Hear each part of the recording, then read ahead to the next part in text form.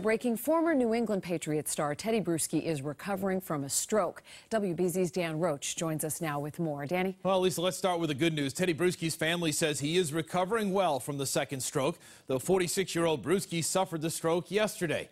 This latest episode came 14 years after he suffered his first stroke. This was the scene when the ever popular Bruschi left the hospital after undergoing a procedure to repair a hole in his heart. The ever popular Bruschi would come back and play nine games in the 2005 season, three more years after that.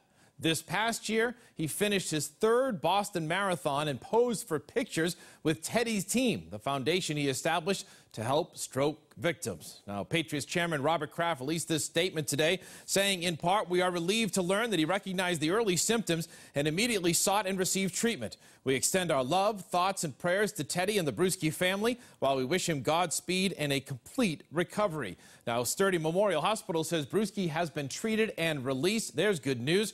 When Bruschi retired after 13 seasons as a player, he said he was proud that he made 366 tackles in the NFL as a stroke survivor. We, of course, wish him the best as he recovers from his second stroke. Liam, Lisa? Absolutely, Roche, thank you.